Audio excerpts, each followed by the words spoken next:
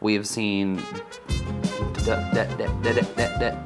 Hey, all of you wonderful people, thank you so much for joining me back in the shed. We have been very fortunate and caught a little break in the temperature, so it's very possible to film out here right now without melting. I'm melting! I think melting is the word to use. It's been really warm, so it's been uncomfortable. That's why you've seen a couple of different on location shoots where we're doing projects in different places. And that's probably going to be something that we continue to do. But that's not why we're here today. Today we're going to be talking about the future of 3D printing and what I personally think it's going to look like.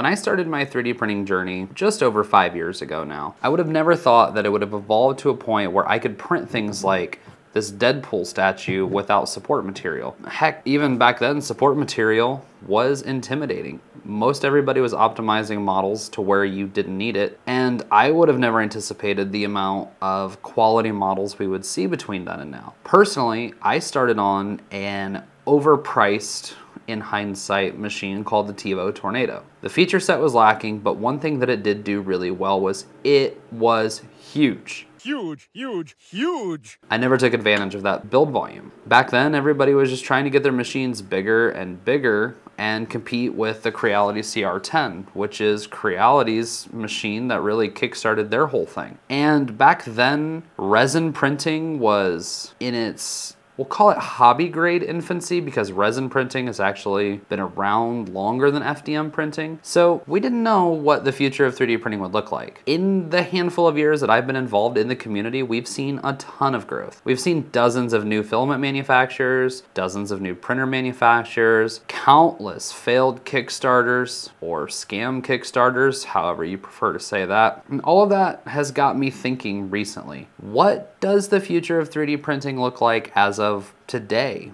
July of 2023? Well, I think to look towards the future, we really need to look strongly at the present and what is the focus? What is happening in 3D printing right now?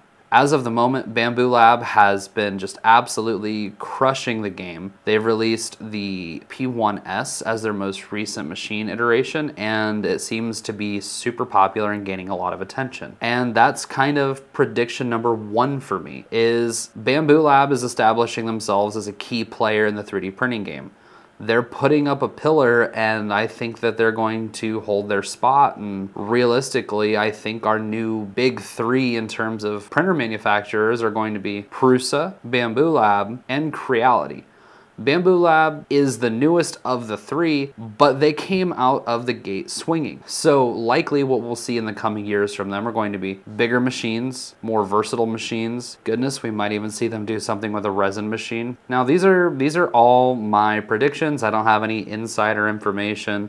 I don't know anything that you don't know yet. But what we do know is they've been filing patents and there are several new machines in the pipeline, so we'll likely see bigger, smaller, and everything in between from them. And personally, I'm here for it. I'm really excited to see what exactly they have cooking up next because so far, my user experience with Bambu has been fantastic. And I think that they're going to continue to learn from past mistakes, what shortcomings they've had with things like using models without permission for marketing. That's garnered them quite a lot of backlash. Or recently, they have kind of merged the entire SoftFever fork of Bambu Studio without notifying SoftFever. That's a whole thing. But I think that as they continue to grow and evolve as a brand, they're going to get smarter and fix some of those things. Prediction number two is Core XY is officially a mainstay at the hobbyist level. So for a really long time, we were aspiring to get the speeds and intricacies of a Core XY 3D printer in a more budget-friendly package. Back in the day, the only options for Core XY were kits, things that you had to do yourself, or similar motion patterns. We had things like Rat Rig and Voron in their early stages, and then we had machines like the HBot, then there's the BLV Cube, and these are all going to be kind of more advanced and they're hobby level machines. Now I get that they're not all Core XY, but they're kind of similar form factors, that cube style of kind of go fast printers. But now we're seeing Core XY really seep into the mainstay. Now, a couple of years ago, SainSmart released their Coreception machine, which was a consumer level Core XY machine. But I don't remember hearing a lot about it. I do remember the 3D Print General did a video on it, and then I kind of never heard about it again. But Bambu Lab has taken the Core XY concept and they have just kind of pushed it right back into the forefront. Now, they're not alone in that. The Voron 3D printers have just absolutely blown up in popularity. So I don't think that kit style printers are going to be going away, but I think more companies are going to start answering the call on Core XY 3D printing. In fact, as a response, or maybe they were working on it before, I don't know. Creality has released the K1 and K1 Max, their Core XY Speed Demon 3D printers that are going toe to toe with the Bambu Lab machines right now. A handful of months ago, Artillery, best known for the Sidewinder lineup of 3D printers, has also teased Core XY printers because they were doing a naming contest where if you submitted your name idea for them, you would win one of the printers. Now, I haven't actually seen any announcements on what's happened with the printer and where it's at in development, but based off of them doing a naming contest, we know that we can expect more Core XY from them. Prusa is doing some Core XY stuff with their printer wall for print farm situations, and then there's the Prusa XL, which was probably after the Mark IV, the most anticipated 3D printer in history, if I had it to guess. That machine garnered so much hype and attention, everybody wanted to see it in action it, because it was a departure from the norm for Prusa. They've typically done bedslinger printers in the past, and it was something new and it was exciting. And it still is because now that these machines are shipping it in the wild, more and more people are getting their hands on them, and then we're starting to see as time goes on, we'll get some of the tool changer variants of those out in the wild. And and that's really exciting. So Core XY is here to stay, and I think that every manufacturer is going to have a Core XY 3D printer in their lineup within the next year, year and a half. Prediction number three is one that really excites me. Personally, I think that the direction that 3D printing is heading is absolutely the right track. Machines with a fit and finish style, fully enclosed out of the gate, like the Bambu X1 series and the Creality K1 series, are really what we need to see more of. Now,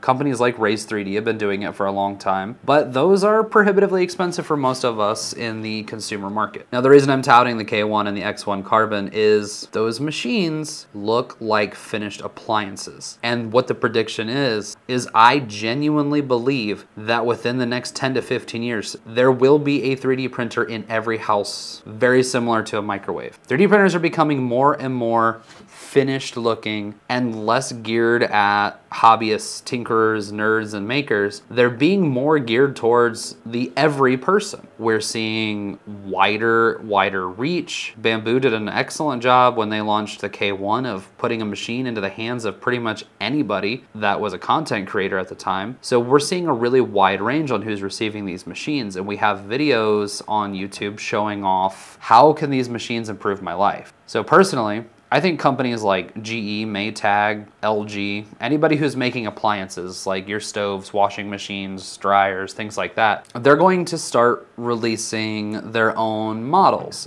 I think that in a handful of years, when the knob on your stove breaks, instead of having to get a hold of the manufacturer and have them ship you a $4 part and $15 shipping, or heaven forbid, have a technician come out to change out a knob for you, I think these manufacturers are going to start doing some uniform things and make the part available for you to download and 3D print yourself to do your own on the fly repairs. And to me, that's really exciting because what it means is home repair will become more accessible than ever before. You can already make things like tools and drawer pulls, things like that to help augment and improve your home. We just recently did a video about upgrading your kitchen with 3D printing. We're working on a video right now as we speak about upgrading your bathroom with 3D printing. I've showed you before 3D prints that you can do to level up your workshop. And that's where the appliance like nature of these new generation machines coming out comes into play. People are going to be more excited to have something in their home that is safer for children because the enclosure means that little hands, little grabbies, can't get into touch the hot moving pieces or get fingers pinched in the motion system. And you're also getting machines that are just ready to rip out of the box. I know that I tout how much I love my P1P because of how easy it was to set up and use, but that's what it really is going to take for 3D printing to reach that next level for home users is accessibility, lower barrier to entry in terms of cost and ease of use, and then just user friendliness. The more user friendly that a machine can be from beginning to end, the faster we're going to see more adoption. Now, that doesn't mean that the hobby side of 3D printing is going away, but it does mean that you might see grandma 3D printing something in the near future instead of asking you to do it. And that's really exciting to me. My kind of last prediction in terms of where the 3D printing industry is going now is going to kind of tie back to prediction number three. I think that 3D printing is going to start becoming more of a focus in schools. It's no longer just a little niche thing because so many people are involved. There are people who are running businesses, both small and massive, with 3D printers. And now we need to teach the kids in school how to use these things. And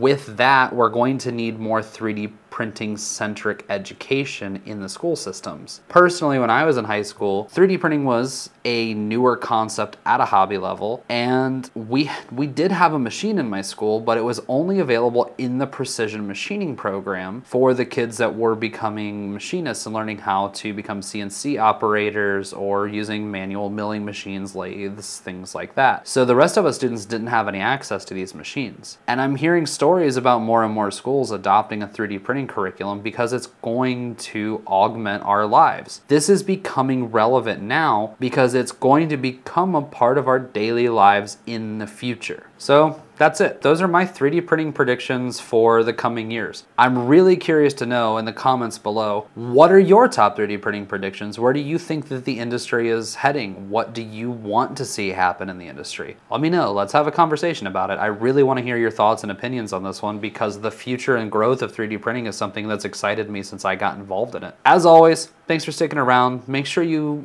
drop a like, give a comment, and if you like this type of video, be sure to subscribe because we're always trying out new things and talking about new topics. Thanks for hanging out. Happy future printing.